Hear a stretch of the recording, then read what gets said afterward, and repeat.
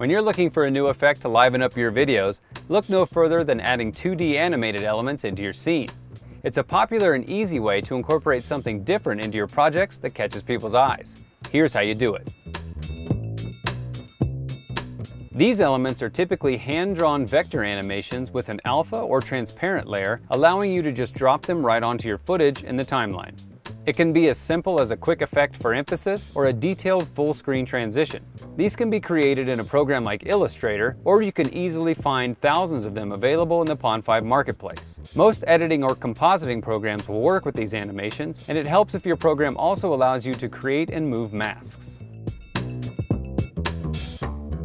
Once you have your animations, all you have to do is place them into your scene. Use the basic scale, rotation, and position controls to put them exactly where you want them to be, then play the clip through to make sure it looks right, and export if you're happy with the result. However, if the animation doesn't look quite the way you want it, it could be an easy fix or something that takes a little more fine tuning.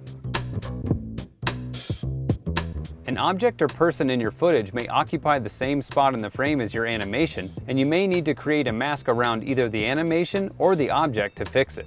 If you want the object to be in front of the animation, all you need to do is click on your element in the timeline or sequence, then create a mask around it. Adjust the mask to match the shape for best results. Now it should look much more naturally incorporated into the scene.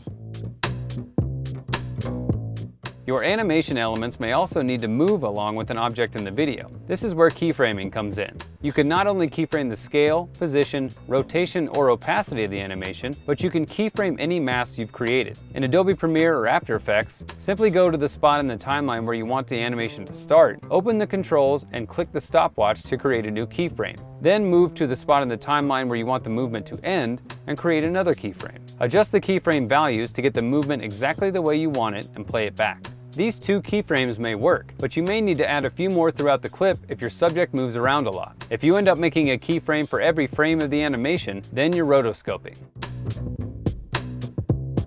Rotoscoping is a more advanced and tedious keyframing technique. Again, this is when you go frame by frame and adjust the animation or the mask's position or shape to get exact movement. It takes a lot more time, but it's great and necessary in many cases when your animations need to seem like they're behind something that's moving in the frame. Another way to enhance the animation's placement is to track the footage with the point tracker in Adobe After Effects. Create a new composition with your footage, double-click the footage layer, open the tracker, and select Track Motion. Move the tracking point to the exact spot in the scene that you want to track and track the motion forward or backward. Create a null layer, then apply the tracking data to the null layer and parent your animation to that layer. It should move perfectly with the spot you tracked. If not, go back to your tracker and adjust any keyframes that are off. If you've gone through and done all of the previous steps, the only thing left that still may need to be adjusted is the animation's 3D perspective to make it fit perfectly in the video. Swivel, tilt, or rotate the animation using your program's effects or any available 3D controls so that it appears on the same plane and lives in the same space as the rest of the scene. Just use your best judgment here, since rotating and tilting a 2D element in a 3D space has limitations.